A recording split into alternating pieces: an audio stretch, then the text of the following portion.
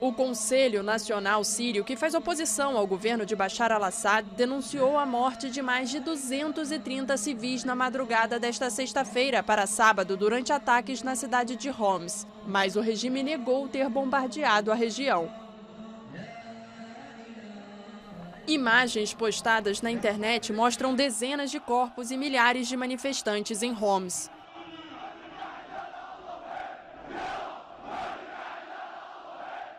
Com as restrições impostas pelo regime sírio ao trabalho da imprensa estrangeira, é difícil confirmar o número de mortos com fontes independentes. Mas se o balanço anunciado pela oposição estiver correto, este seria o dia mais violento desde o início da revolta contra Assad em março de 2011.